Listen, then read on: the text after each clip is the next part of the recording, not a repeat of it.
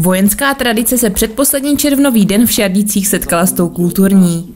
Za bohatého doprovodného programu se zde totiž uskutečnila prezentace a žehnání knihy Nezapomenutí legionářští Bráškové Hovoransko. Je to svěcení knihy publikace Legionářští Bráškové, kterou vydává mikroregion Hovoransko. Jsou to obce eh, Hovorany, Šardice, Terezín, Čeč a Karlín. V kulturním programu je zastoupená každá obec. I obec eh, Šardice vystoupila tady mladá muzika, dechovka naše a pak mužáci mužáci, mužáci z Hovorán, pak je tady pan Vín otáhal se svými hosty z Karlína a z obec Terezin zastupují sourozenci Vrbovi, kteří vlastně vystupovali s mladou muzikou. Kniha vypráví o pohnutých osudech legionářů z pěti obcí mikroregionu Hovoranska. Ten se na její výrobě podílel také finančně. Minimálně za Češ, když to řeknu, tak eh, na Čejči nějak moc vzpomínek na ně nebylo, nebo byla to, řekněme, taková jako hluchá, hluchá díra eh, v, v, v kronice nebo v historii. A, takže jsme pana Trávnička oslovili, v podstatě potom jsme se dohodli s eh, ostatními obcemi z mikroregionu, že by to bylo zajímavé to udělat jakoby v širším, v širším kontextu. Součástí slavnostního podvečera bylo žehnání knihy, které provedl vojenský kaplan Jaroslav Zoubek. Kromě samotného programu si hosté mohli také prohlédnout výstavu výzbroje a výstroje československých legionářů. A samozřejmě si knihu zakoupit a nechat podepsat jejím autorem. Tato edice vzniká od roku 2018 a její původní smysl a cíl bylo Břeclavsko, Břeclavští rodáci v Československé zahraniční armádě 1914 až 1920, takzvaní legionáři, ale byli to i dobrovolci, pracovníci, vojáci, ti, kteří třeba nebojovali, ale zabezpečovali. Takže bylo to cílem vytáhnout ty rodáky, rodáky, podotýkám ne ti, kteří potom v jednotlivých obcích bydleli, protože to je neprůkazné, ale rodáci, kteří v těch obcích bojovali, byli ve válečném zajetí nebo před válkou se vystěhovali a vrátili se domů jako příslušníci této armády, která se zasloužila o vznik státu.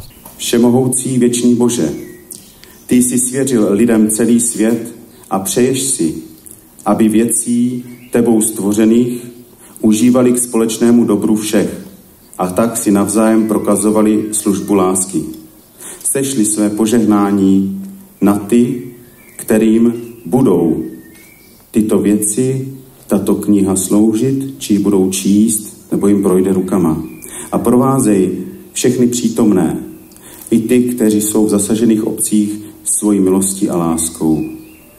Ve jménu Otce i Syna i Ducha Svatého. Teďka se k tomu připojí další obce z Hodonínska, Dolní Bojanovice, tady Hovoransko, od Tišnova železné a ten věhlas překračuje celou Moravu, protože někteří volají a chtějí, aby jsme ty rodáky jim zpracovali taktéž.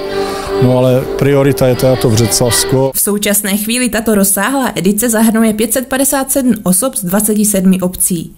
Na Hovoránsku pak mapuje 88 osudů. Fantastické na tom je to, že tady se prolínají i další armády, nejenom Československá zahraniční armáda ve Francii, Itálii a Rusku, ale také srbská dobrovolnická divize a potom i americká armáda, kde jsme měli přímo svého rodáka tady z Hovoran, který tam sloužil a byl mu uznán status legionáře. Už nás vedu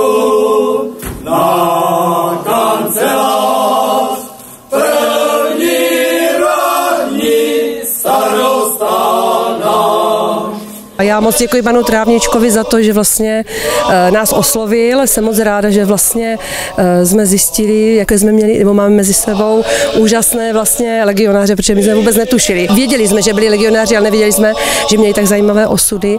A vlastně jsou zde i rodiny příslušníci těch legionářů, kteří teda již zemřeli. A zvláště tady na Houránsku bych chtěl vyzvihnout eh, spolupráci, protože mají o to nejenom zájem, ale také pomáhají a především třeba matrikářky, které pomáhají s vyhledáváním jednotlivých těch potomků, protože to je ta mravenčí práce a za to bych jim chtěl strašně moc poděkovat, za to, že nám s tím pomáhají a že z těch zapomenutých děláme nezapomenuté. Z Šardic se s vámi loučí regionální televize jich.